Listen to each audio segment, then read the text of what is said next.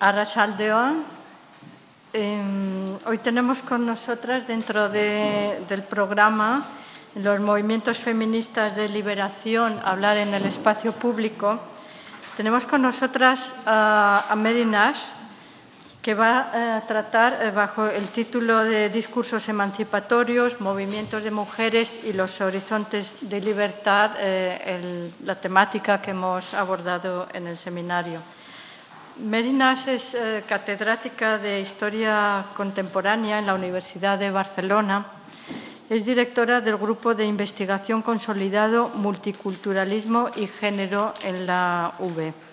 Fue presidenta fundadora de la AEHM y galardonada con la Cruz de San Jordi y doctora honoris causa por la Universidad de Granada.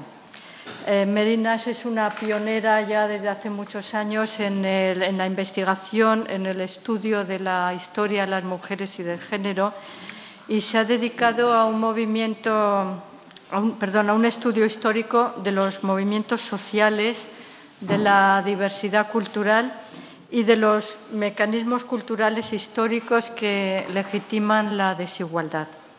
Entre otros libros, es eh, autora, ha investigado también en la Guerra Civil Española, en la, República, en las mujeres mm, revolucionarias. Es autora de Rojas, las mujeres republicanas en la Guerra Civil Española, y de un libro eh, que realmente os, recomiendo, que considero es no solamente básico, sino que también abre muchas puertas eh, eh, que es eh, Mujeres en el Mundo, Historia, Retos y Movimientos.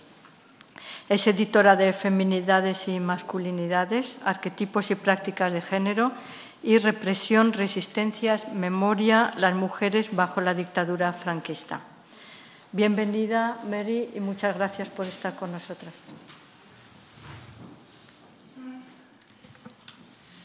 Muchas gracias, buenas tardes.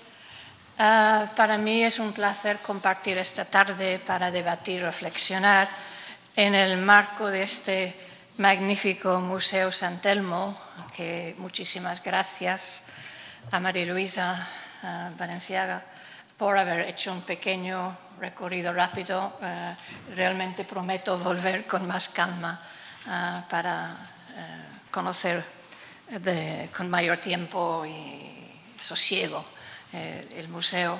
Y también eh, eh, el hecho de estar aquí en un seminario que, que, dice lo que dicen las mujeres me parece realmente um, una ocasión magnífica para pensar, debatir, compartir.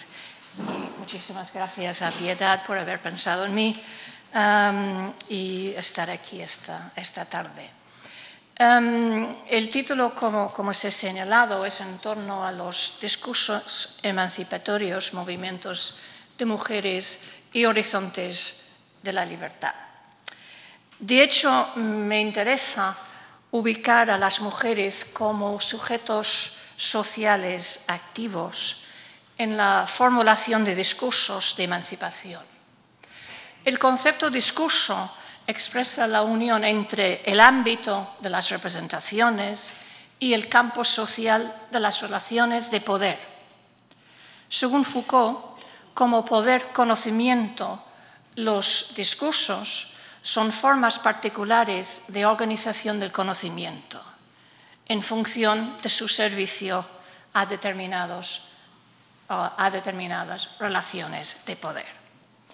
Y en esta línea me interesa plantear cómo los discursos emancipatorios que crean las mujeres organizan el conocimiento, cómo son capaces o no de incidir en las creencias establecidas y modificarlas, o cuáles son también los elementos que dificultan esta transformación para que tengamos un imaginario colectivo, un universo de referencias distintas eh, y en clave feminista y en clave de voces de las mujeres. En este sentido también me interesa no solo hablar en términos de los discursos que eh, realizaron las mujeres a partir de los movimientos, a partir de sus reflexiones críticas con respecto a su situación en la sociedad, sino también lo que a mi modo de ver es el gran reto que tenemos en el pasado y también en el, en el presente, que es el reconocimiento, como diría Nancy Fraser, respecto a estos nuevos discursos y su capacidad de transformación.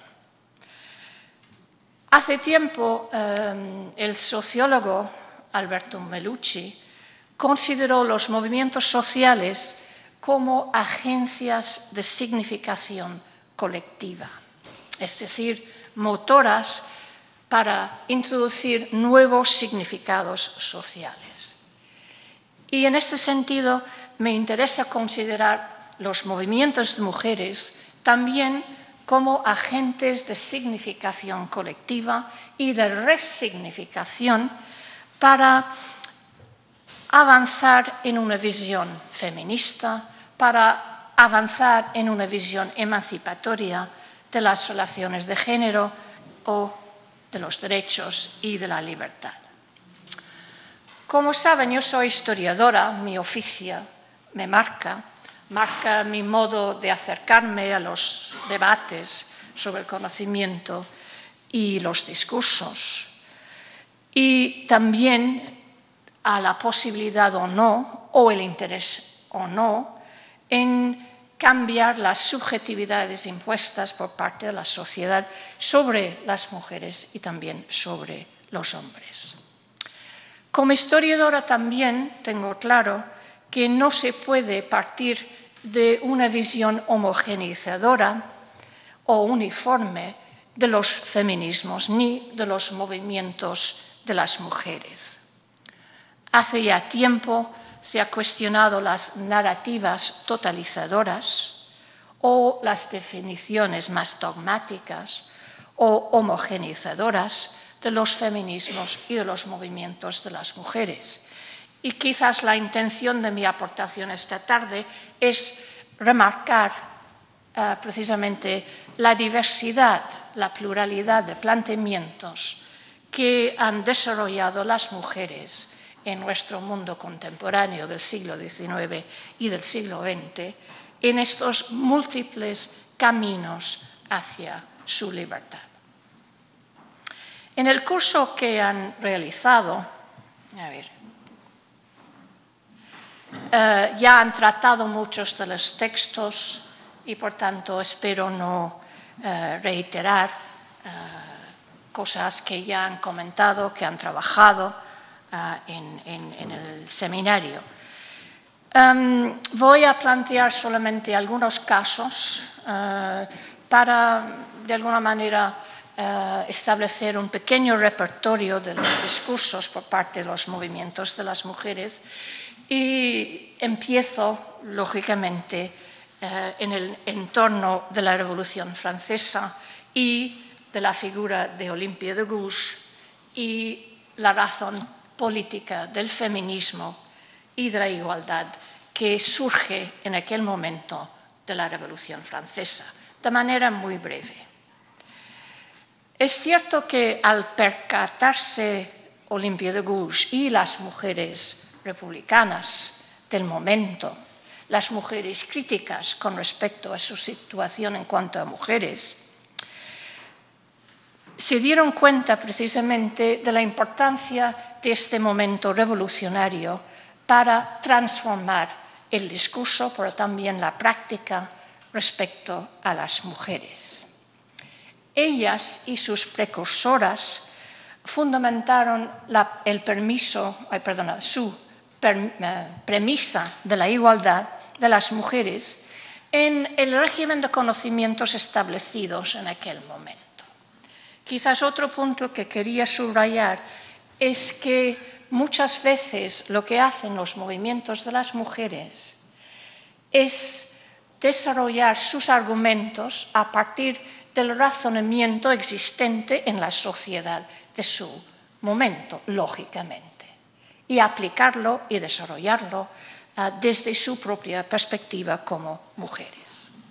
Y esto es lo que hicieron las mujeres de finales del XVIII con la Ilustración y principios del siglo XIX en la Revolución Francesa. En este momento partieron del conocimiento crítico revolucionario que establecía el principio de la igualdad del tercer Estado frente a los privilegios de la aristocracia y también del monarca absoluto de poder divino. En este sentido, el cuaderno de quejas que hemos visto antes, publicado de manera anónima por Madame Bebé, lo que hizo ella era retomar una teoría del momento, la teoría de la representatividad de Abate Sieyès. Él decía que la nobleza no podía representar el tercer estado, pero ella retomó este argumento para afirmar que del mismo modo los hombres tampoco podían representar los intereses de las mujeres. Por lo tanto, las mujeres debían tener representación propia, una representación política propia, decía ella.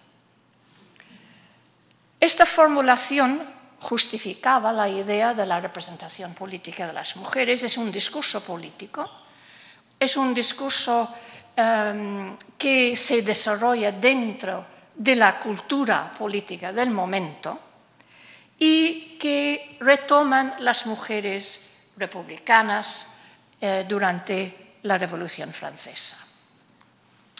Ellas y Olympia de Gouges, de manera más clara, plantean una de las primeras formulaciones políticas en defensa de la ciudadanía de las mujeres de las mujeres ciudadanas, de los derechos políticos de las mujeres que se basan en la noción del principio de la igualdad para todo el mundo.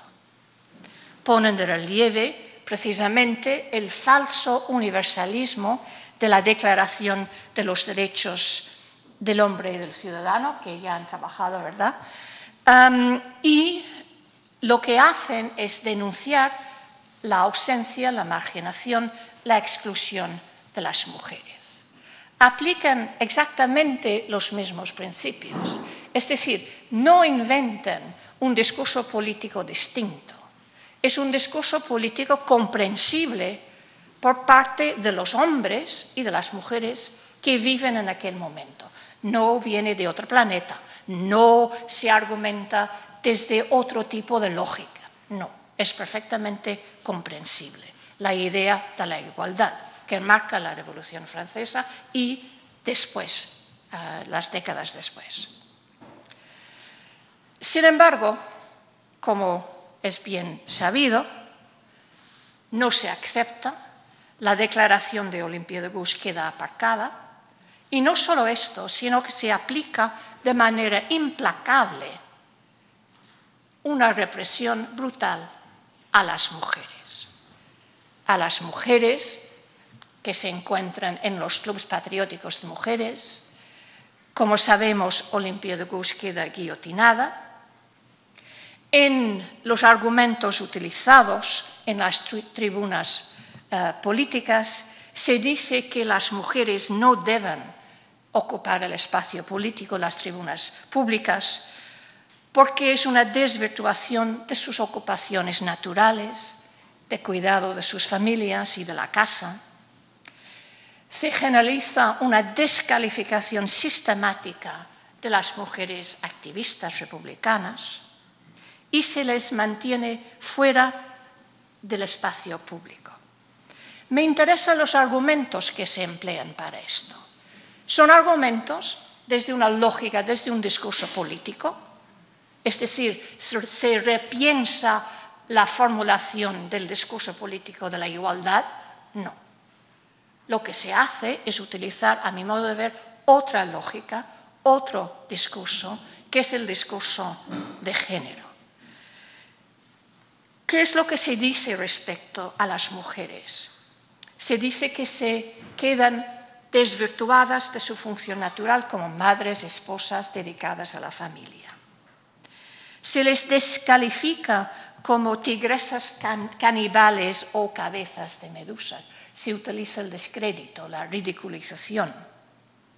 Y en el caso de Olympia de Gouges, si bien es cierto que se utiliza algún argumento político para justificar su ejecución, también lo es desde este discurso, desde esta lógica de género de la domesticidad y del rol de las mujeres en la sociedad.